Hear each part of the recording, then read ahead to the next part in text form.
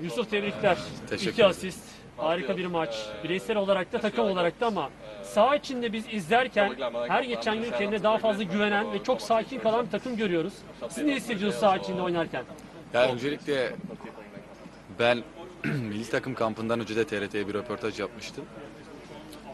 Soruda işte milli takımı özlüyor musun diye bir soru gelmişti bana. Dedi- o zaman da söylemiştim. Biz beraber kamp geçirmeyi, zaman geçirmeyi çok seviyoruz.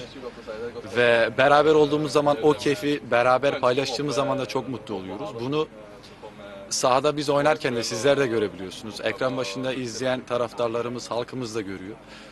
En güzel mutluluğu sahada koşarken arkadaşımızın yaptığı hatayı kapatmak için koşuyoruz.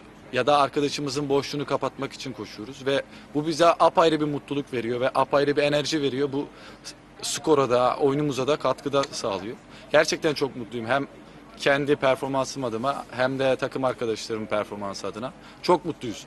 Ofansif oyunu seven bir oyuncusun özellik olarak da. Topla oynamayı seven bir oyuncusun ama görüyoruz ki son dönemde topsuz alanda da takım savunmasına katkı yapmayı da fazlasıyla hiç böyle rahatsız olmuyorsun, memnun kalıyorsun bu durumdan da. Dediğim gibi hem biraz da işte Fransa Ligi'nde alışkanlıktan biraz da oldu. Hem de dediğim gibi arkadaşlarımın e, arkadaşlarımın açığını kapatmak, onların hatalarını kapatmak için de koşuyorum. Mutluyum ya gerçekten oyunumda mutluyum. Arkadaşlarımla olmaktan da çok mutluyum.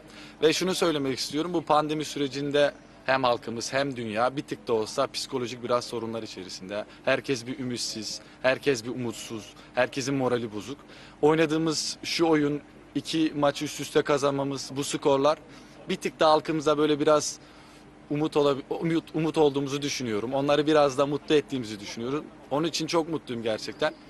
Halkımıza hediye olsun, ülkemize hediye olsun. Yusuf çok duygulu konuşuyorsun yani içten konuşuyorsun. O yüzden şunu da sormak istiyorum. Hayaliniz var mı? Konuşuyor musunuz? Olunca görürsünüz. Öyle mi? Evet. Peki teşekkür ediyoruz. Kendinize iyi bakın.